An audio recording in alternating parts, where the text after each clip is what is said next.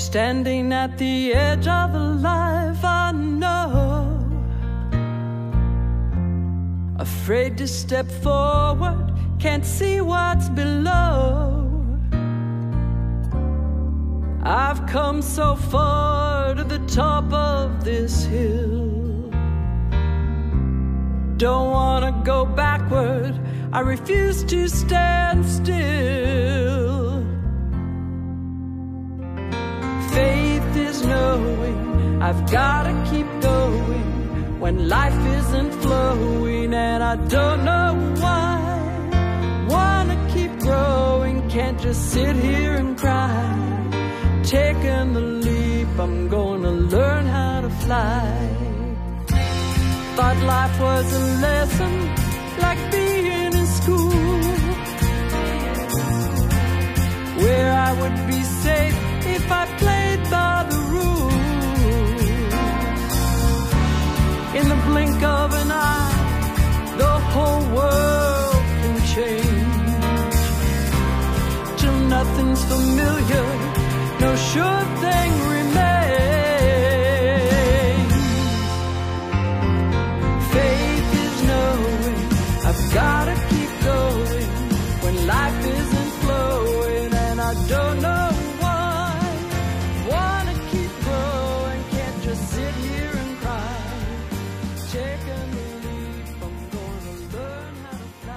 Good morning and welcome to our Unity of Buffalo Sunday service. As we continue on our series based on the book Divine Audacity, Dare to be the Light of the World.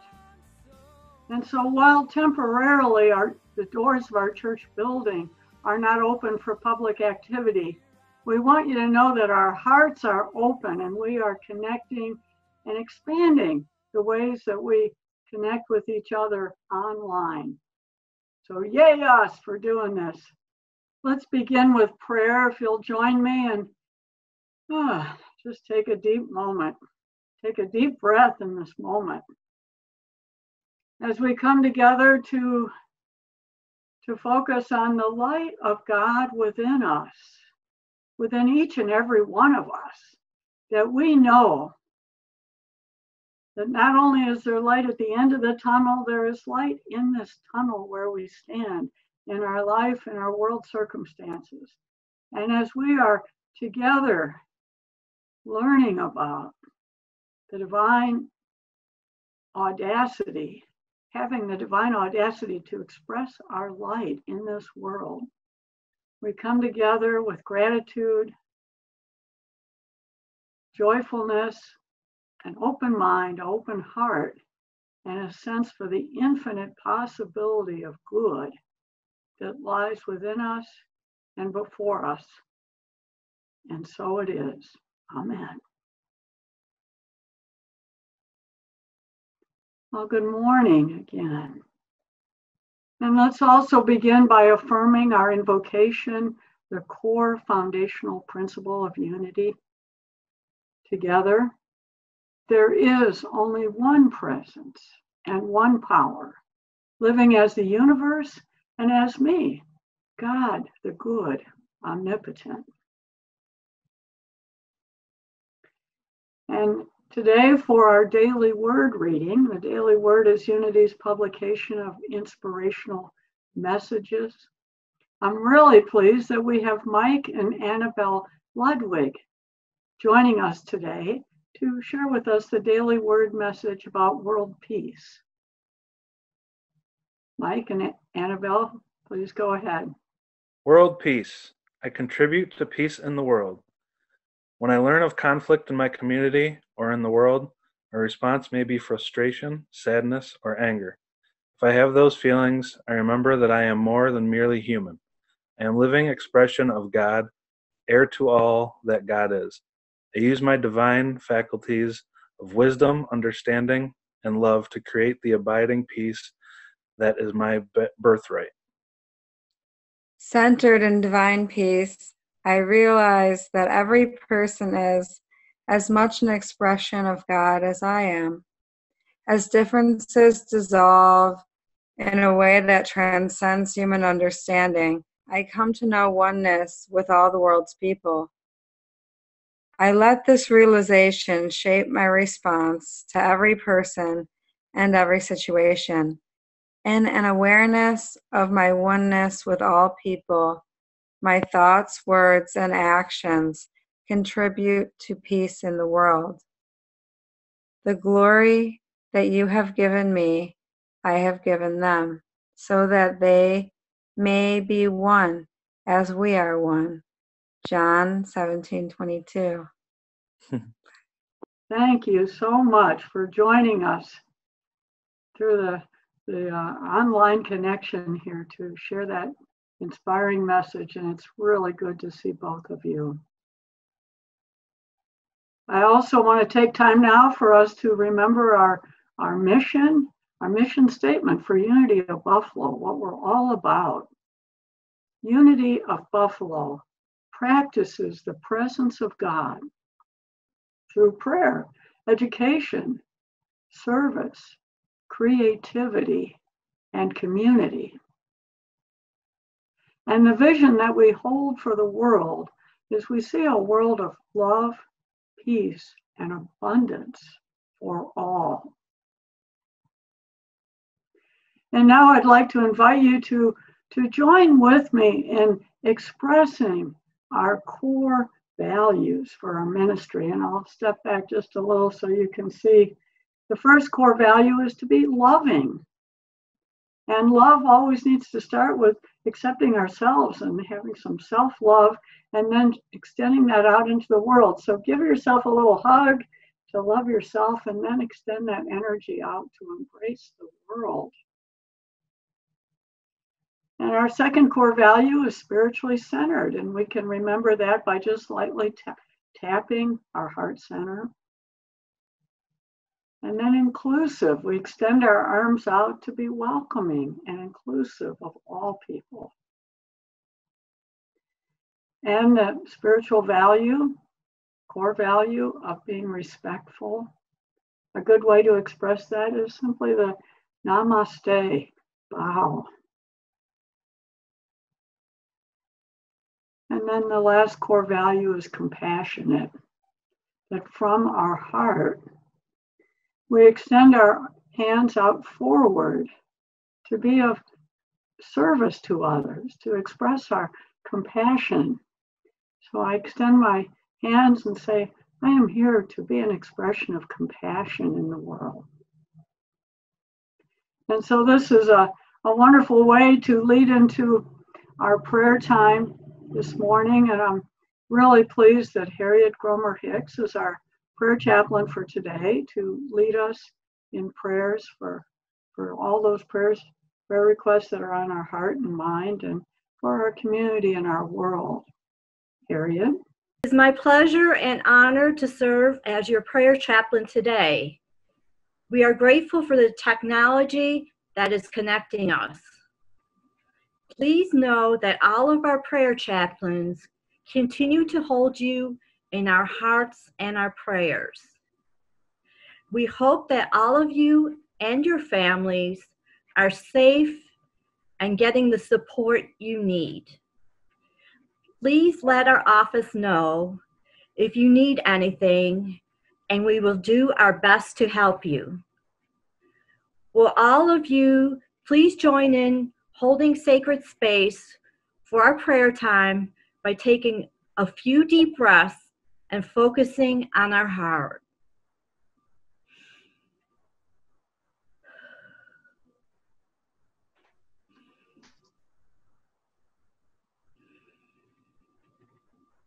We have a special prayer request for Rosemary Priori's daughter, Jennifer, for continued and complete healing. Now is the time when we all can speak aloud the names of those we hold and would like to hold in our hearts in our prayers.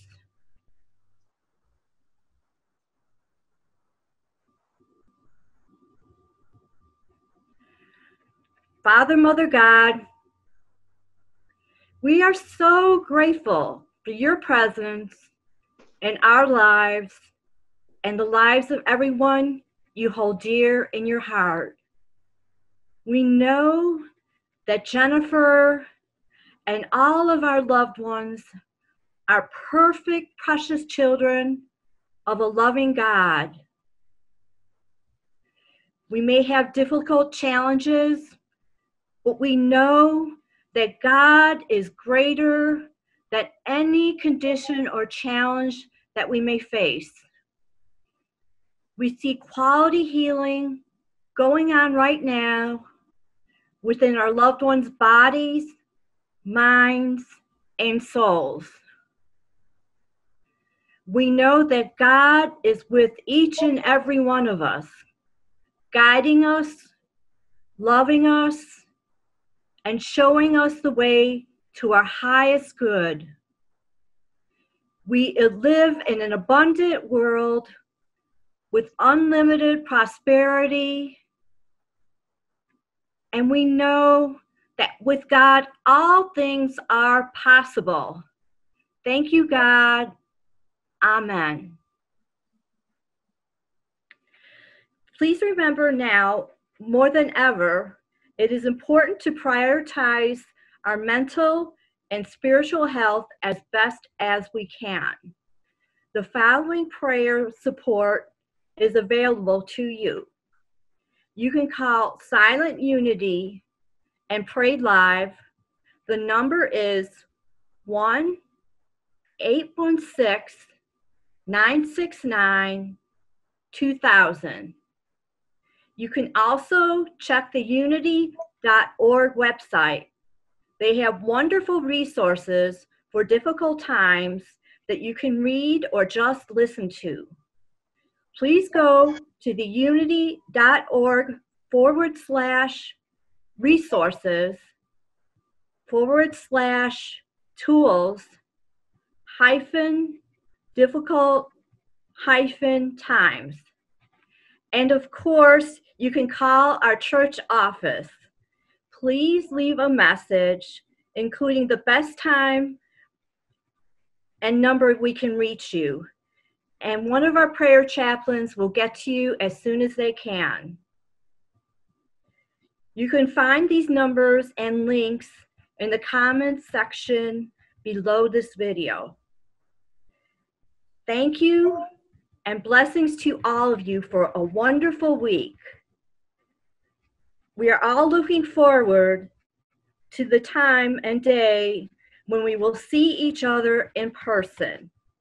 I miss and love each and every one of you. You are all very, very special, and we are here for you. Namaste. Thank you, Harriet. That was beautiful. And so, as I mentioned at the beginning, today for our lesson, we are continuing on our seven week series based on the book Divine Audacity by Linda Martella Whitsett. And it's also the basis for our spirit groups curriculum. We have five different Buddha groups that are meeting, and I believe there is still space in some of the groups to join and be part of a spirit group. So if you if you're interested in that, I hope you will, follow up afterward and send us an email through the church website and we'll get you connected with Lonnie and Millie. So the first question obviously is, what is divine audacity? That's a powerful two words there. And last week I shared a little sampling of, of what Linda, how Linda defines this. She said it is divine audacity is bold spiritual living. It's living under the radical premise that I am divine, that each one of us are. Divine audacity means I'm able to boldly express the highest spiritual principles in the midst of everyday situations. And I valiantly champion the goodness in myself and in others. So in other words, I think we could say that this is boy just what is needed for this time and this place. I was thinking about this week. Uh, a few years ago, I heard Linda uh, Martella Whitsett speak at an Eastern Region fall conference. And she was sharing that she likes to think of a geode as a great analogy for our divine identity. You know, a geode, I didn't know this, but it's actually called uh, the Tootsie Pop of geology. And it's one of those stones that on the outside, it just looks very plain and ordinary, it just looks like a rock. Uh, but when you crack it open, you hit it with a hammer, it splits wide open and it, it reveals these beautiful crystals on the inside. A lot of people buy them and think they have really good energy and put them around their house or put them on an altar. And she said that that is such a great metaphor for her of our own divine identity, that sometimes we kind of look pretty ordinary on the outside, but when we're cracked open, what's on the inside is spectacular. And I thought about, well, what cracks us open? Could be a joke. it's a good time for a joke, I suppose. But also, our life experiences crack us open. It can be moments of great joy and also painful experiences loss of a loved one, sadness, anything that's really challenging. You know, what's happening in our world right now with this pandemic, I think we're being cracked open by this experience. And it's actually a good thing that in these times when we're cracked open, it reveals the best of humanity. And also sometimes places where we're falling short, we see things that we maybe we need to have mirrored back to us so that we can choose once again. But I see lots of examples of kindness and compassion being expressed. You know, it was me running into Annabelle at the Lexington Food Co-op on Monday morning and having her check out my groceries. It was so, felt so good in my heart to see her and to know that she's on the front lines as an essential worker right now. And I think about the story I heard recently of a of a deaf man that's working at another uh, grocery store, and uh, you know it's really hard. We forget sometimes there's a lot of people in the world who are deaf, and they depend on being able to read people's lips to communicate. And at this time, when we're all wearing masks out in public, it's kind of extra hard for them. And so his coworkers at the store came up with a solution. They made a special T-shirt for him that on the back it wrote, uh, "I'm deaf. Tap me on the shoulder to let me know I can help you." And they gave him one of those those white eraser boards so he could communicate and back and forth. And I thought, oh, uh, that's that's compassionate leadership. And so as I think about leadership, you know, when we're looking around for examples of leadership or qualities in leadership we want to see expressed, that we should always remember the place to start, first and foremost, is looking within ourselves. And that's what we're doing in this series, is looking within ourselves at our own inner divinity.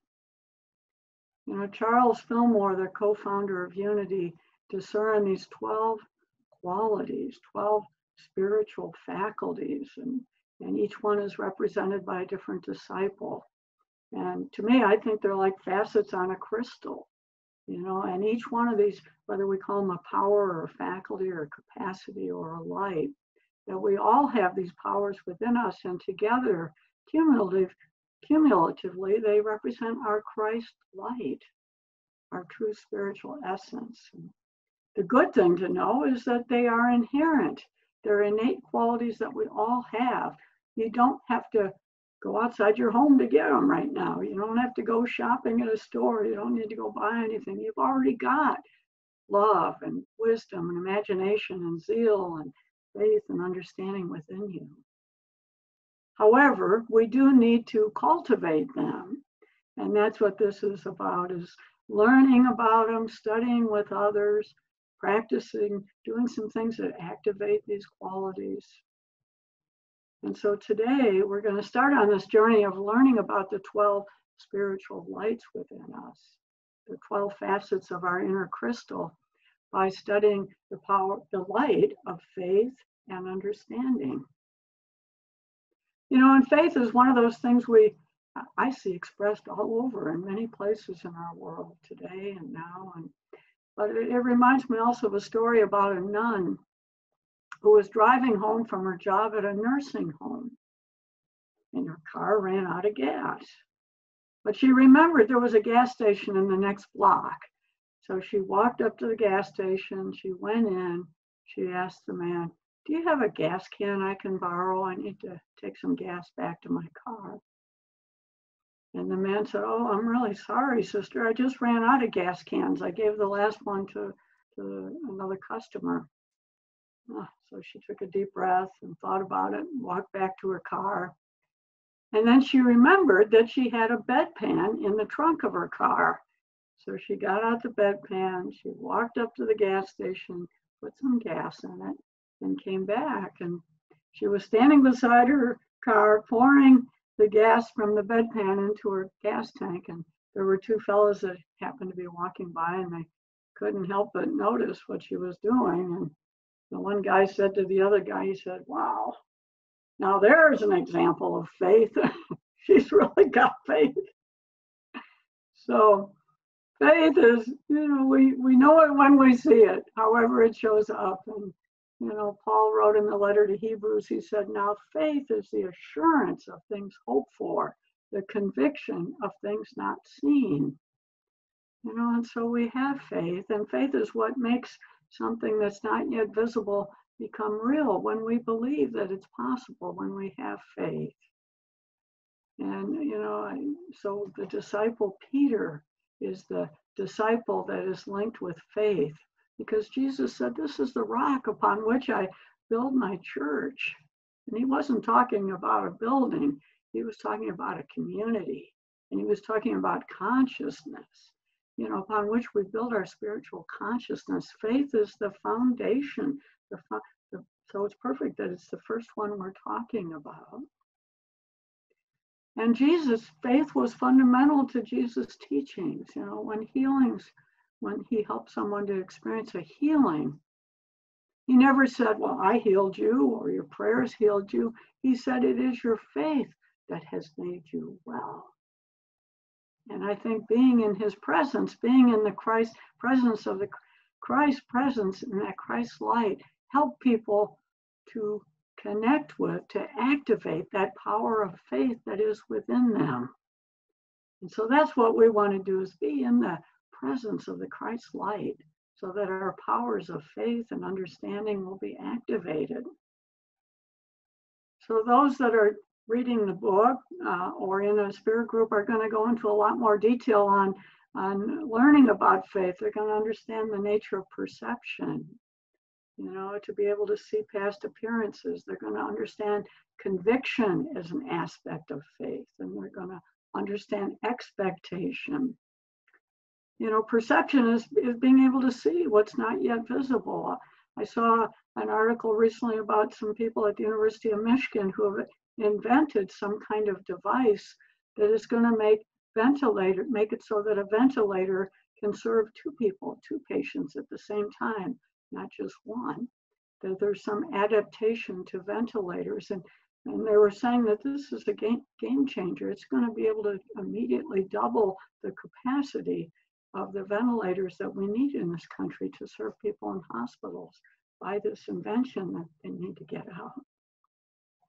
And then conviction is just knowing, is an absolute knowing that whatever the appearances, we still know that we stand in this place where where where all things are possible.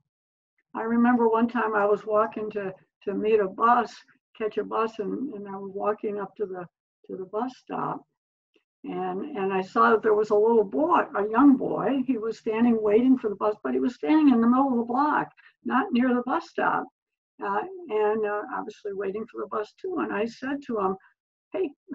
He said, You need to come over here and stand at the bus stop. The bus only stops you know, at the designated stops. And he said, Oh, no, no, I know it's going to stop for me. It's going to stop. And I kept telling him, No, you don't understand that bus stops at the bus stops. And, but he was determined to just wait where he was. He said, I know the bus is going to stop for me. I finally just gave up and I said, oh, It's too bad he's going to be late for school or something. And but so the bus came 10 minutes later. I got on the bus and sat down and and then the bus drove up a little further and I watched kind of with amazement that the bus stopped right where that young boy was standing. and he got on the bus. And, I heard him say to the bus driver, "Hi, Dad. Thanks for thanks for giving me a ride." So I guess he knew who was driving the bus, and uh, he had confidence that that bus would stop and pick him up. So so you know so conviction to know to to know who you're placing your faith in you know. Is god going to come through for us? Is the the power of, of, of divine order going to work for us this time? I have absolute faith in that. And then of course expectation. We want to have a positive joyful expectation. You know linda shares a little story in the in the book about a, a, farming community that experienced a long period of a drought and everybody was really struggling and and finally one of the local ministers said i want to gather everybody together in the town square and we're going to pray for rain. And so everybody people came you know whatever their religious background or people that didn't go to church at all everybody wanted to lend their prayers to oh god we really need some rain here and as the minister stood up to begin his prayers, he looked out and he saw the part was the crowd was sort of parting as this little girl was coming up to the front. And uh, she was the only one out of all the people in the community that had come to pray for prayers that had brought an umbrella. But she was coming forward carrying her umbrella. And to me, that's the power of expectant faith. that she she knew the rain was going to come and so she was preparing for it. So faith is a powerful quality. You know it helps sustain us in turbulent times. It, it allows us to walk through unwanted circumstances shining our light. It encourages us uh, encourages us to get out of the boat walk on the water as long as we keep our eyes on the prize you know, as long as Peter was looking at Jesus, seeing the Christ light, he could walk. But as soon as he took his eyes off that and he looked down, he suddenly, oh my God, what am I doing here out on this water?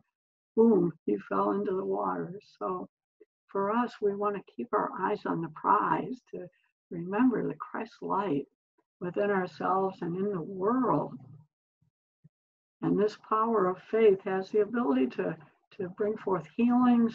Linda shares a powerful story in the book of healing that happened with her father by just holding the space for faith to do its work. And then the other power I want to share a little bit about today is the power of understanding, spiritual understanding. You know, to comprehend, to understand, to, for me, understanding is about our ability to know that God stands under all things. That when we meet a circumstance that we don't understand or that we're fearful of, when we're in the midst of turbulent waters, it just feels that way because we can't can't yet see the order or the good or the purpose in the situation. But once we remember that God stands under every situation, we can get recentered again. And you know, a couple things to important important things to know about the light of understanding. The first thing, Charles Fillmore said this, but it's also Jesus taught this that the desire always precedes understanding. We have to have a desire to want to understand more. You know, when Jesus said, ask and it'll be given, seek and you'll find, knock and the door is open, it was a desire to want to um, to want to understand more. And then I came across something this week from Father Richard Rohr. He's a Franciscan friar in New Mexico and has become a very popular spiritual author and teacher. And I thought he said something that really is very helpful to us also in cultivating the light of understanding. He wrote that understanding of any situation begins with the primal yes, a basic acceptance. We look at our present situation and assent to its confines. We avoid labeling or categorizing things as good or bad. And we simply have to surrender and adapt, adapt to the reality of it. And then there's a woman, Cynthia Bourgeault, uh, Episcopal priest and mystic who works with him. And she added this she said, surrender is not the same as welcoming a situation in front of us. It doesn't mean we have to like it or say, oh, I'm glad this is happening. But rather, when we think about surrender from a spiritual perspective, it has to do with yielding to what wants to emerge, that we let go of our old understandings and negative attachments to the past.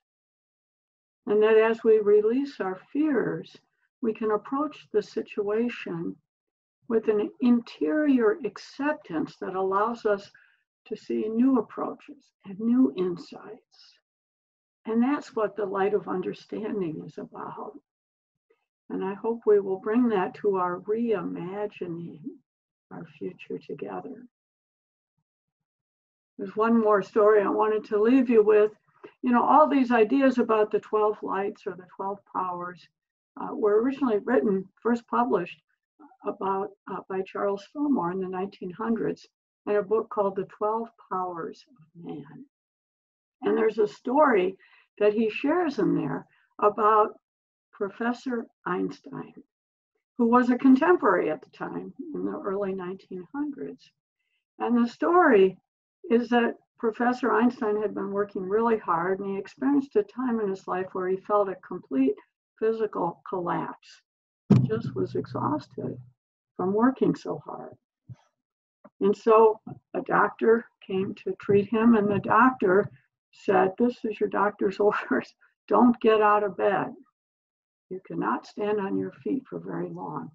Stay in bed. No matter what you do, stay in bed all day, all night.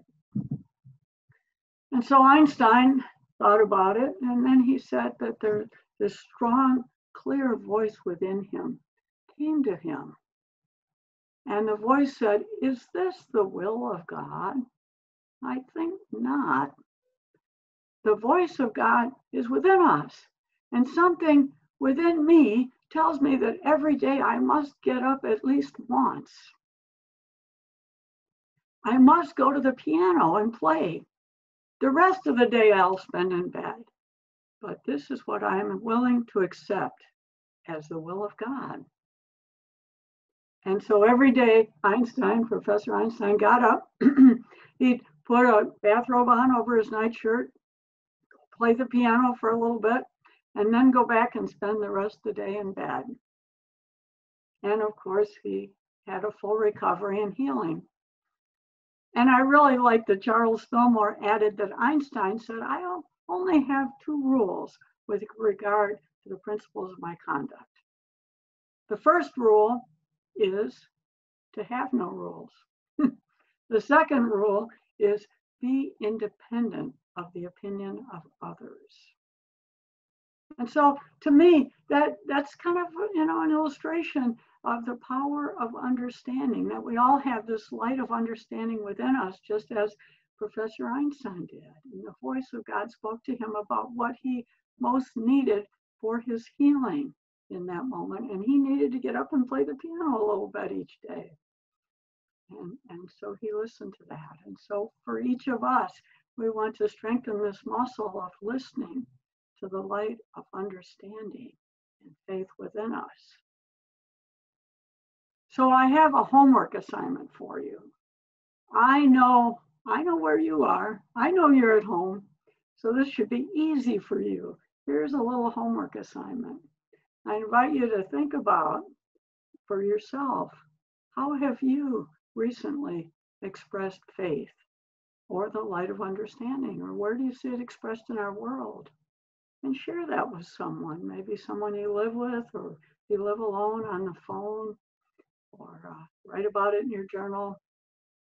And then look around your house and find maybe an object for you that represents the light of faith and put it somewhere where you can see it regularly to remind yourself of that faith, the light of faith that is strong within you. And you are cultivating it, bringing it forth into even greater expression the healing of our world. And so now we are ready for our time of meditation. So I invite you to uh, join me with taking, I like to take three deep breaths and just release any energy or concern or anxiety. Gently close our eyes and give thanks that we are part of this spiritual community that is coming together to practice being the light of the world, to be the light in the tunnel of the experience that we're having together now. We can gently tap our hearts if you'd like, put your hand on your heart. And to know that deep within you, you have all these facets of the crystal, the crystal that is the Christ light within you. And this week, particularly, we're focusing on the light of faith and the light of understanding.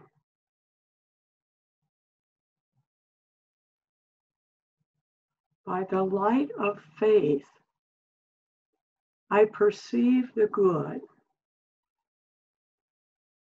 I trust all is well and I expect the best.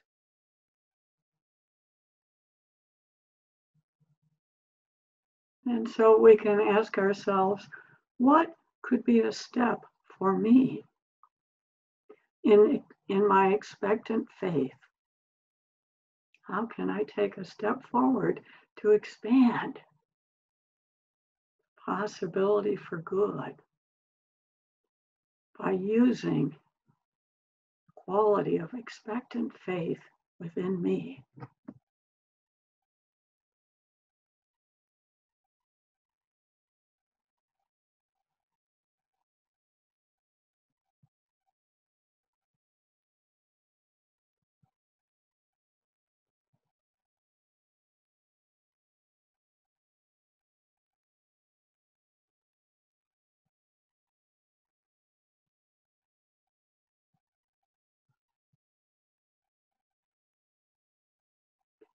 And I also call upon the power, the light of understanding.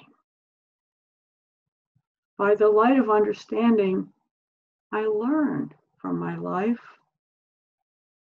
I realize the truth and I live by insight. I affirm that I am a candidate for insight and revelation. I am open and receptive to the voice of God, however it wants to get my attention. I welcome spiritual understanding that helps me to find meaning and purpose in my life and in my world.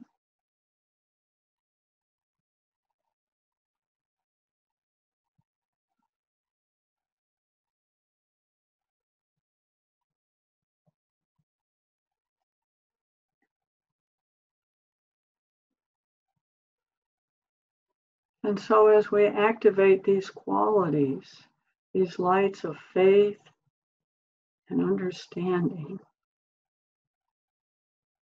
we know that God's grace is sufficient for all that is needed. And we know the truth of these words from Julian of Norwich all shall be well, and all shall be well, and all manner of things shall be well. You can say that with me if you'd like all shall be well, and all shall be well, and all manner of things shall be well. So it is. Amen. And now we have a very special song prepared by Mike Serio and Anandhi to share with us. Two. There are miracles in life I must achieve, but first I know it starts inside of me. If I can see it, then I can be it. If I just believe it, there's nothing to it. I Believe I Can Fly by R. Kelly.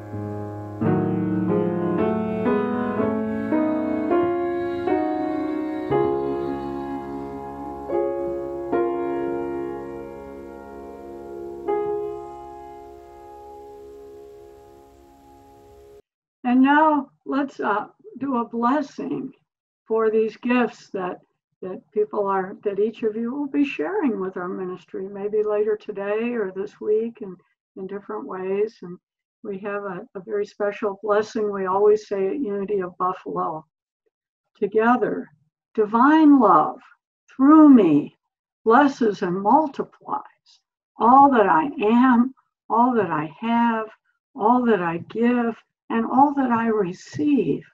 Freely I give, and freely I receive. Thank you, God. Oh boy, that feels good just to say that. And now we'll do the blessing for, for our ministry and for all the gifts that come in that help us to serve a much wider community of people. And let's say this together. We bless these gifts and see them pressed down, shaken together, heaped up, running over, and return to every giver. Thank you, God. Amen. I have a few transformational opportunities I also want to share with you. I want to just remind you that the Course in Miracles is continuing on Tuesday afternoons by video teleconference. And Annabelle is doing her yoga class on her Facebook page. Uh, if you need information about how to get connected with that, uh, please email or call our church office, and Kelly will get back to you about that. Uh, the spirit groups have all gotten started. They're off and running this week. Uh, and I think you can still join a group if you want to be part of one. So, again, contact our church office and we'll get you connected with that program and Lonnie and Millie. Also, um, these services are up on YouTube so they can be watched at any time throughout the week. Please share them with your friends and, and hit the like button. That helps to raise our visibility. We're really pleased with the number of viewers that we're seeing every week on these for these Sunday services. And then the last thing is our friendship hour. If you're watching this live on Sunday morning, please you're, just know you're invited to join us for our virtual friendship hour. You use the link that is in the email that Kelly has sent out. And we've been having at least 20, 20 to 22, 24 people on that. And it's been really wonderful to be able to see each other live and, and have a kind of an informal conversation and connecting time. So I think we're about ready now to, to uh, conclude the service. And I want to close with our saying the prayer of protection together. The light of God surrounds us. The love of God enfolds us. The power of God protects us. The presence of God watches over us. Wherever we are, God is, and all is well. And so until next week, God bless you. Namaste.